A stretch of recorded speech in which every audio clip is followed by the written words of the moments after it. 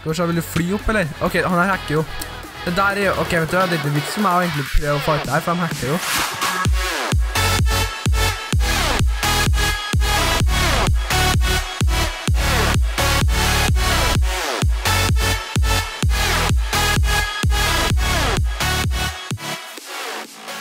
Folkens, og hjertelig velkommen tilbake til min kanal. Mitt navn er Nordavind og i dag så er vi tilbake med Surviving Games tirsdag på kanalen. Det er veldig, veldig hyggelig å være tilbake. Det har jo faktisk hadde oppdatert hubben sin her også. Da kommer Cowboys er noe sammen i snart Terrorbound, og alt sammen her er liksom, det er liksom, hva heter det? Det er liksom, det er liksom Alt sammen er i huben. Uansett, jeg vet at det er Surviving som skal spille i dag, men noe som heter Sky Guidance her, som jeg ikke har prøvd ut, det kommer i en annen video, så gleder dere masse til den, den det kommer ut. Jeg har aldri prøvd Sky Giants før, men det kommer video om det. Skal vi se, det kommer faktisk på søndagen. Det det, så gleder dere til da. Gleder dere til da. Um, yes, Swag Games, hvor er du hen? Hvor er Swag Games? Der er Swag Games, vet du. Supert, da vil vi hoppe inn der. Og så skal vi ta og Skal vi se, skal bare ta og hoppe inn i gamet her. Så da starter matchen om fem, fire, tre, to, én, og der starter den. Supert. Den gikk litt langt der. Skal vi se, skal vi slå dem her unna. var ikke vekk. Jeg skal få kista, men den fikk jeg ikke. Å, herregud, han, herregud. Å, han fikk chestplate og legging sånn der. Snakk om å ha flaks, da. Han der tror jeg hadde skikkelig flaks. Wow. Ok. Ok, Cuphead Girl, pass deg. Jeg skal fram, jeg skal forbi, jeg skal få kistene, jeg skal klare det her. Tar den der, den må selvfølgelig ut da. Da stikker jeg bare Hvor stikker den, da? Stikker her, kanskje, bort til kista der. Nei, det var ikke kiste, det var cobblestone wall. Nei, her kiste, vet du. Her kiste. Uh, nice, Ikke ta på bootsa, da. Cuphead Girl, pass deg. Ta den her. Sverd, sverd, sverd. Det blir dårlig med sverd, altså. Det er veldig dårlig med sverd. Men skal vi se her, da. Er det noe under her, da?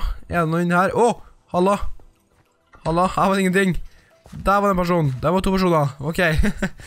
vi bare tar spring, vi bare fortsetter. Herregud, her var det virkelig mange folk. Her var kista også. Den kan vi ta også. Før vi fortsetter på noe annet. Luta.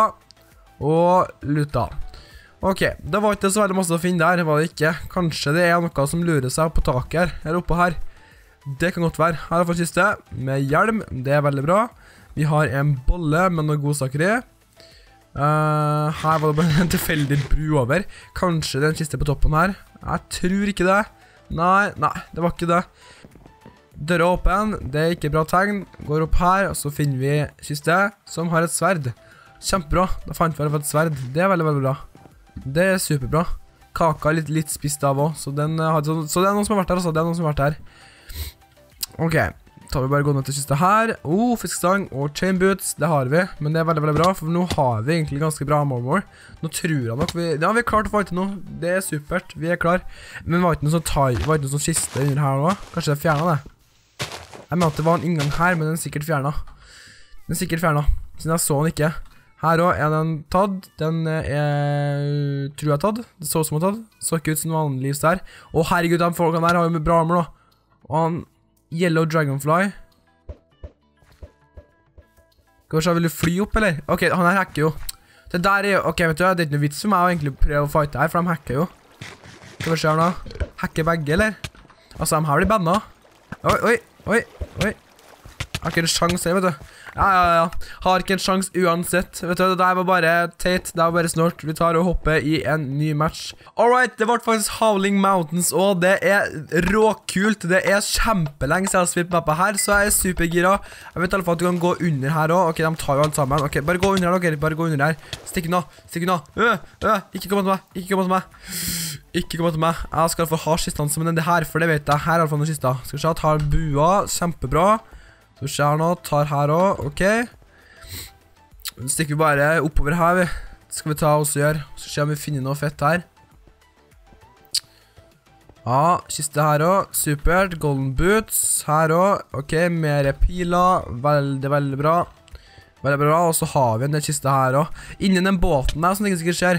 Jeg husker i alle fall det at hvis du går inn der, så er det nok støkk. Det går an å komme seg ut, det gjør det. Men det er veldig vanskelig. Nei, nå ikke. Nei, nei, ha vekk. Ha vekk. Han fikk, han fikk sverd også, vet du. Han fikk sikkert et sverd. Han gjorde det, vet du. Han gjorde det, selvfølgelig gjør han det.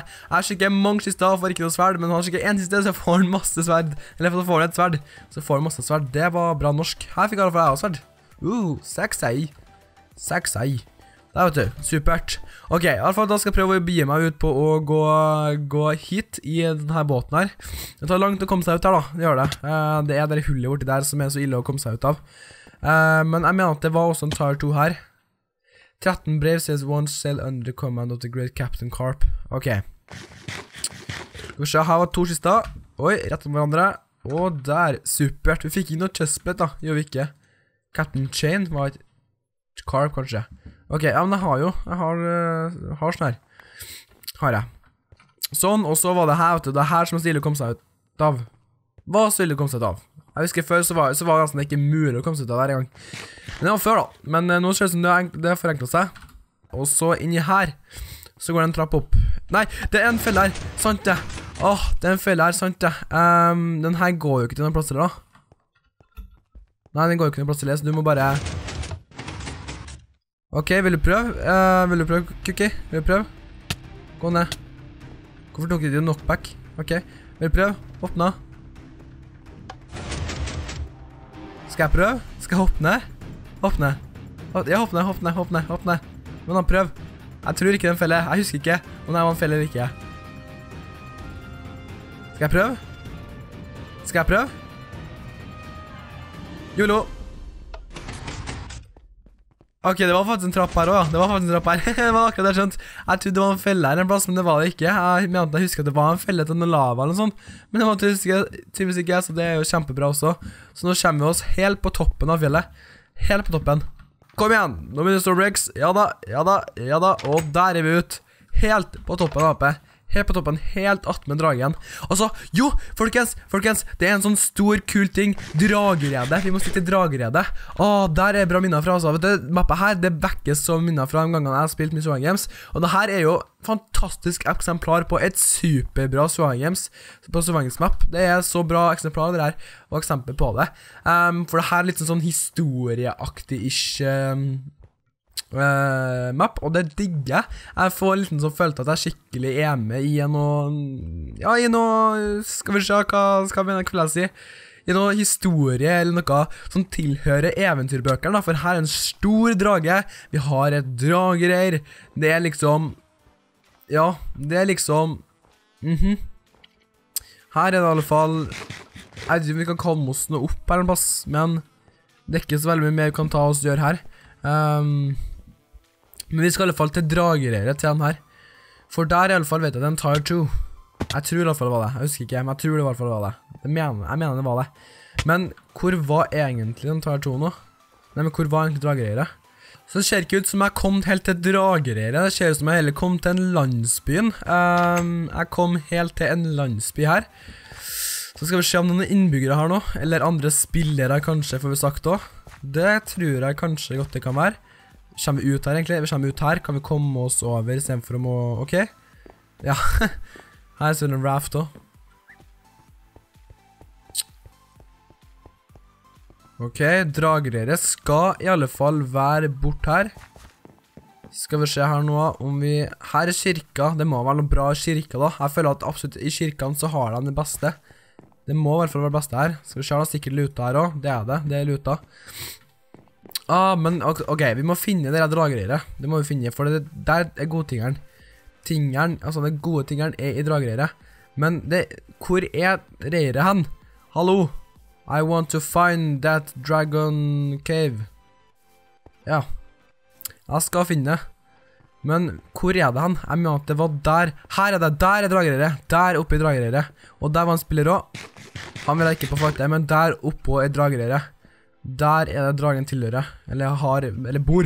Så yes, vi fant dra dragereiret. Jakten på dragereiret er suksess. Og der er Final Countdown nå. Og ikke noe mange spillere nå. Veldig, veldig få spillere. Vi valgte for Harmony, som alltid. Harmony er det beste mappet. Beste deathmatch-arenaen.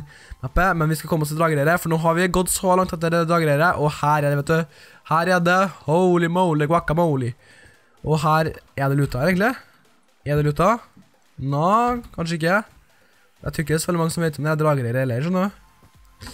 Det var ikke noe veldig mye bra her, da. Det var, veld, det var overraskende dårlige ting her. Men vi fant det. Det var i alle fall et lite mål om å finne dragreiret. Så det gjorde vi. Supert. Herlig. Det digger jeg, vet du. Jeg digger når det er sånn her litt sånn litt adventure map-ish ting. Det er veldig, veldig kult. Det digger jeg. 20 sekunder igjen til um, Arena Deathmatch. Og Chambers. Vi har jo det. Vi får jo bare ting vi får, jo. vi har hard, mener jeg. Sånn. TNT. Mat, mat, mat. Og ja, ta med der også. kaster vi bare fra oss dere der og den der. Og da, vet du, da er vi klar for fight. Tolv piller, veldig mange piller, det er superbra. Vi får ta ut han som har en del ting, da. Skal vi se her nå. Han har ikke en, bra ting, han har, ikke noe mye ting. Skal vi se, han er noe ok Og han der har mye ting, vet du. Han har mye ting. Det er veldig bra. Han har veldig mye bra ting. Det egentlig? Blantant takler. Ok, skal vi se. Sånn.